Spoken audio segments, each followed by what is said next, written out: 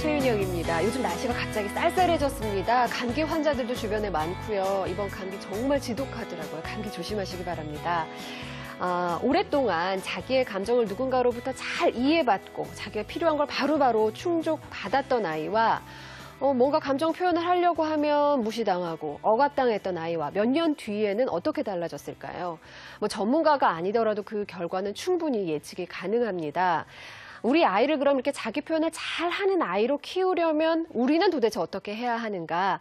우리 어, 오늘 이 시간은요, 우리 아이 자기 표현력 키우기로 준비를 해봤습니다. 그 두 번째 시간인데요. 먼저 수요일의 아빠 김현규 씨 소개합니다. 안녕하세요. 안녕하세요. 안녕하세요. 민지 아빠 김현규입니다. 네.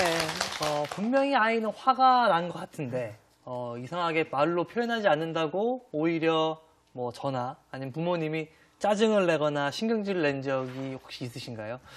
어, 이렇게 이럴, 경우에는 아이들의 행동에 조금 더 관심을 가, 지시기 바랍니다. 네. 부모의 관심과 어떤 그 생각이 아이의 사고 방식과 이 표현력을 그 발달시킬 수가 있습니다. 어, 김현규 씨가 지난 시간에 정말 공부를 열심히 맞습니다. 했어요. 네. 네네. 아, 오늘도 아주 알차게 도움 말씀 주실 전문가 선생님 소개해드리겠습니다. 이보현 선생님 나오셨습니다. 네, 안녕하세요. 안녕하세요. 안녕하세요. 어, 우리 아이가 엄마 나 화났어요. 엄마 나 슬퍼요. 엄마 나 좀 봐주세요. 이렇게 표현을 잘 하는 아이라면 정말 엄마 하기도 쉽겠죠. 근데 이렇게 아이가 자기 표현을 잘 하는 아이가 되려면 일단 가장 필요한 게 자기 그 자신감, 자존감이라고 선생님께서 지난 시간에 설명을 해주셨어요. 어, 오늘은요, 좀 선생님께서 직접 상담을 하신 구체적인 사례들을 가지고 좀 더 우리가 실제 상황에 적용할 수 있도록 자세하게 얘기를 나눠볼 테니까 여러분 관심 가지고 끝까지 함께 해주시기 바랍니다. 그 전에 우리 아이가 감정 표현을 왜 잘 해야 하는지, 그리고 또 이 부모인 우리가 그 아이들의 감정 표현을 왜 잘 알아주어야 하는지 설명을 좀 부탁드리겠습니다. 네. 네, 우리 사람이 살아가는 가장 큰 이유 행복하다라는 거는 자기 욕구가 잘 충족되고 만족됐을 때 우리는 행복감을 느끼는 맞아요. 거잖아요. 이 자기 표현이 그 욕구 충족을 하는 가장 좋은 수단이기 때문이에요. 네. 스트레스를 많이 겪거나 아니면 문제 행동을 보이는 아동들을 보면 이게 다 욕구 좌절 때문에 기인을 한 거니까 욕구 충족만 잘 되면 즉 다른 말로 자기 표현 잘하면 스트레스도 덜 받고 문제 행동도 덜 익히고 네. 또 자기 표현은 또 우리는 어떤 명확한 의사소통을 잘하는 게 좋은 자기 표현이라서 이렇게 표현을 잘할 경우에는 원만한 대인관계까지 우리가 기대할 수 있다라는 거죠. 네. 지난 시간에 선생님께서 그렇게 말씀을 해주셨어요. 우리 아이가 말을 잘한다고 해서 감정 표현을 잘하는 아이는 아니다. 그러니까 그거 두 그렇죠. 가지는 별개의 문제다라고 설명을 해주셨는데 그러면 내 아이는 감정 표현을 잘하는 아이일까 엄마가 이제 걱정이 되기 시- 시작하고 헷갈린단 말이에요. 선생님 실제 생활에서 어떻게 다른가요? 그러니까 초등학생 이제 이상 되면은 가끔 엄마 들이 어, 우리 괜찮은 것 같은데 학교에서 네. 선생님들로부터 갑자기 전화가 오고 심지어 무례하다라는 말을 아. 들을 때가 있어요. 그러니까 어떤 거냐면 복도에서 한 세네 명이 막 뛰어갖고 걸렸어요.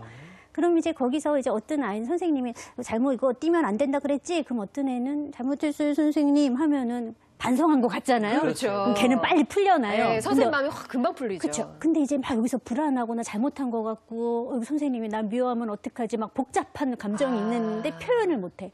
그럼 너무 어색하니까 이러고 있거나 아니면 이러고 쳐다보거나 희죽희죽 웃어요. 어, 심지어. 에이 뛸 수도 있는데 막 이렇게 하면 선생님이 어머 이게 반성을 안 했어. 그래서 야단도 더 오래 맞게 되는 네. 일이 생기는 거고 집에 와서 아이는 학교 안 간다라고 하는 거예요. 아. 또 이제 어떤 아이들은 요구를 또 제대로 못 해요. 가령 내가 요거를 하고 싶어요. 그러면은 저게 남의 집이니까 네. 이게 되는지 안 되는지는 자기도 모르잖아요. 네. 그러면은 흔히 말해서 입 떴다 뭐예요? 물어보면 되는 거예요. 아줌마 요거 해도 돼요? 라고 물어보면 그렇죠. 되는 거면 어 돼. 라고 얼른 욕구가 충족이 될 거고 안 되면은 음, 아- 아쉽다 라고 끝날 텐데 그 말을 못해서 이게 뭐예요? 이거 하면 안 되는 거죠. 막 네. 얘기를 해요. 거기서 만일 주변에 그 아줌마가 민감한 사람이라면 아우 얘 마음이 사실은 이거 하고 싶은 거구나라고 해주겠지만 별로 이렇게 민감하지 않거나 무심하면은 어 그냥 이러고 그냥 무심하게 지나가 버리게 되면 얘는 또 집에 와서 막 화가 난다라는 그렇죠. 거예요. 그래서 풀리지 않은 것 때문에. 다 이게 어떤 욕구 좌절이나 야단 맞지 않아도 될 걸. 혹은 쉽게 풀어나갈 문제들을 다 어렵게 만든다라는 거죠. 아, 그래서. 그렇구나. 저희 애도요. 꼭 제가 못 먹게 하는 것들 막 근데 먹고 싶은 게 냉장고 있잖아요. 그러면 엄마 냉장고 문 한번 열어봐도 돼요?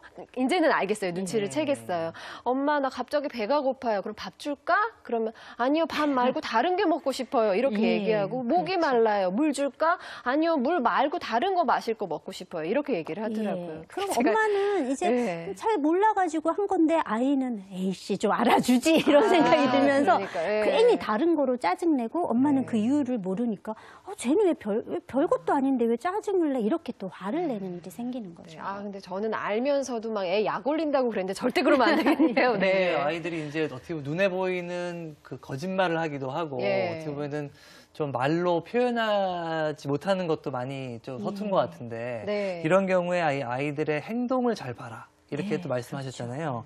이 아이들의 성장 시기에 따라서 약간 좀 달라질 것 같은데 어떻습니까? 그렇죠. 아이들은 그 정말 빠른 속도로 발달을 해 나가요. 그래서 우리와는 조금 다른 발달 단계에 있어요. 네. 그래서 그만큼 이해하기가 되게 어려워요. 그래서 우리가 아이의 어떤 자기 표현을 도와주기 위해서는 이 아이들의 어떤 성장 발달에 따른 정서, 자기 표현 특성을 이제 살펴보시는 게 필요한데요. 네. 크게 우리가 이제 아동기를 좀 두 개로, 그러니까 두 단계로 딱 나누면은 보통 만 6세 이전과 6세 이후로 좀 구분이 될 수가 있죠. 네. 그래서 한번 두 단계로 나눠볼게요. 그래서 네. 영아기에서 7세 아동 음, 사이에 이제 겪는 어떤 자기 표현의 어려움이 무엇일까라고 네. 이제 좀 본다면은요. 네. 요때 이제 아이들은 아직은 사회적 기술도 떨어지고 언어 능력도 사실은 많이 미숙하기 때문에 네. 표현을 잘 못해요. 그래서 자기가 어떤 감정을 느끼면은 느끼는 그대로 행동을 해요. 아.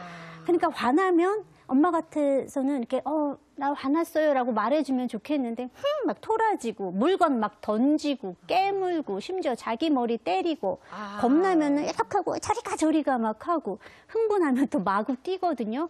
요게 다 야단 맞는 행동들이라는 거예요. 하고 싶은 게 있는데 이게 표현이 안 그렇죠. 돼서 그러니까 그런 언어가. 잘 그만큼 수반되지 네. 않기 때문에 자꾸 행동으로 나와요. 아. 그런데 이제 아이도 어, 뭔가 내가 되게 조금 불편하고 안 좋아.